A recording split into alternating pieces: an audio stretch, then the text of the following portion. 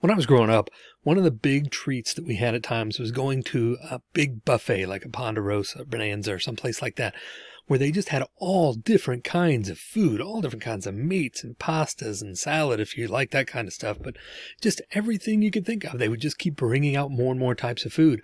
The big problem that we had and that I had in these situations, though, was trying to choose what to eat what combinations went together and, and how do I put things together in the best way to take advantage of all this food that was in front of me? Well, you know, communication can present kind of the same type of issues. We've got all these different types and forms of communication. And, and so in, in this video, we want to just take a quick look at some of the different forms of communication and how they might fit into our different communication needs.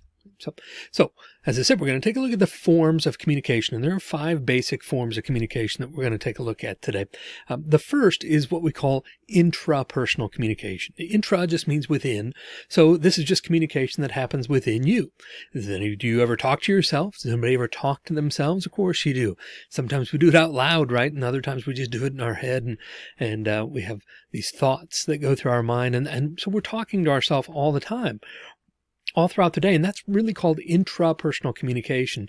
A lot of times it's just frivolous. It's just different ideas, different random things that pop into your head. But, but there are other times it can be more significant, um, such as when we communicate with ourselves in intrapersonal communication, what we call self-talk, when we're, you know, maybe feeling down about something and then we talk to ourselves, continue beating ourselves up. Or on the flip side, we are able to kind of talk ourselves out of it and soothe ourselves a little bit. But, you know, self talk can be a really critical aspect of identity and of, of, uh, of, of self image and, and self concept and all those types of things. So, uh, intrapersonal communication is a really important uh, and diverse type of communication, but it's communication that takes place within you. Interpersonal communication is communication that takes takes place between two people within the context of a relationship. Now, relationship here is used in the broader sense in terms of it could be a romantic relationship, but it could also be a, a friendship or a family relationship or even just coworkers. You spend a lot of time at work, you develop relationships there as well.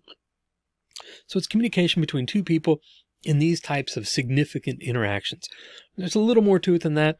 We're going to have another video on, you know, what is interpersonal communication. You can check it out and, and get into more of the details there. But, you know, at its core, interpersonal communication is communication that takes place between two people within the context of a relationship. And so it carries with it different, um, different kind of rules and regulations and guidelines uh, that go along with that type of communication that's different from other communication.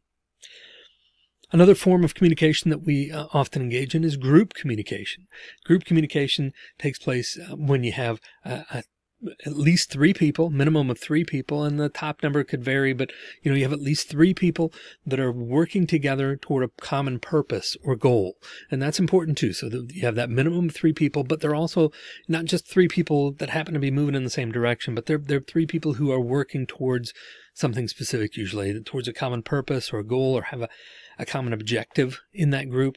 And so again, that group carries um, different dynamics and there are different rules that, that guide uh, group communication and different things to consider. So that's really a different subset of communication that's different from interpersonal and intrapersonal and the other forms of communication uh, in the way that we use it, the way that we interact in that, in that way. So group is another form of communication.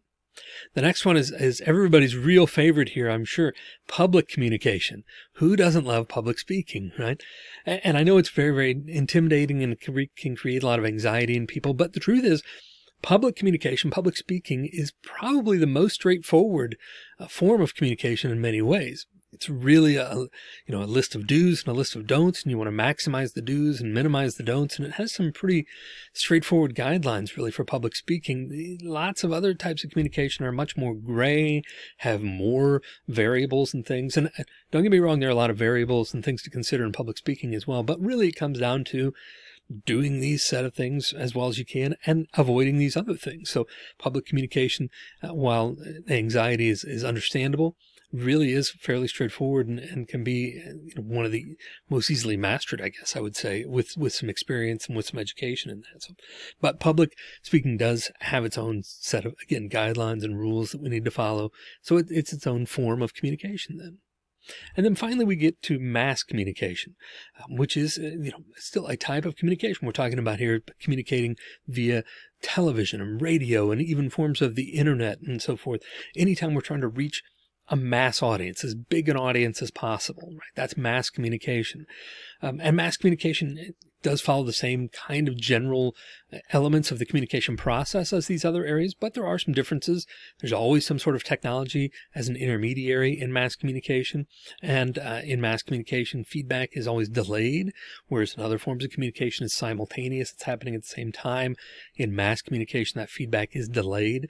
So there are some differences and different rules. And, um, uh, but so it's its own form of communication, but in reality, all five of these forms of communication, as different as they are, they all really follow the same process, the same eh, you know, transactional model of communication that the process that's outlined there, those elements um, are, are applied um, differently, but they're all still uh, involved in all these forms of communication. So so, you know, our job now as communicators, if we're going to be competent communicators, is to be able to identify, okay, what's the most appropriate and effective uh, method of communication, form of communication uh, through which I can communicate with the audience to achieve my purpose or goal.